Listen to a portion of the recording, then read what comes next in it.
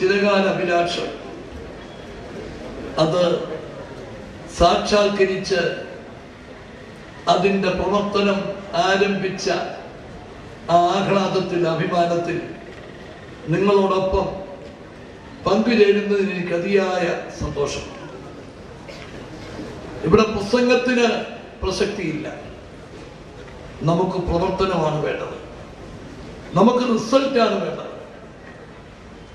ഇവിടെ ആരോഗ്യമന്ത്രി പറഞ്ഞതുപോലെ ആരോഗ്യ മേഖലയിലാണ് ഈ ഗവൺമെന്റ് ഏറ്റവും കൂടുതൽ ശ്രദ്ധിച്ചിട്ടുള്ളത്. ആരോഗ്യ രംഗത്തും വിദ്യാഭ്യാസ രംഗത്തും നമ്മൾ നേടിയ നേട്ടം നമ്മൾ നിലനിർത്തണം. അത് കൂടുതൽ ശക്തമായി മുമ്പോട്ട് കൊണ്ടുപോകണം. ഈ ഗവൺമെന്റ് അധികാരത്തിൽ വന്നപ്പോൾ അഞ്ച് മെഡിക്കൽ കോളേജാണ് ഗവൺമെന്റ് മേഖലയിൽ ഉണ്ടായിരുന്നത്. ഇന്ന് നമ്മളത് പതിനാറ് മെഡിക്കൽ കോളേജ് ആക്കാനാണ് ശ്രമിക്കുന്നത്. ഇത് രണ്ടാമത്തെ മെഡിക്കൽ കോളേജ് പ്രവർത്തനം ആരംഭിച്ചത്. നാളെ പാലക്കാട് മൂന്നാമത്തെ ഗവൺമെന്റ് മെഡിക്കൽ കോളേജ് നാളെ ആരംഭിക്കുന്നു. അപ്പോൾ ഈ ഗവൺമെന്റ് വന്ന് മൂന്ന് കൊല്ലത്തിനുള്ളിൽ മൂന്ന് മെഡിക്കൽ കോളേജ് പ്രവർത്തനം ആരംഭിച്ചു.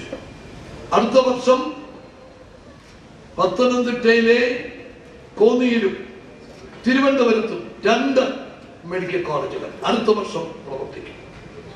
അതിനടുത്ത്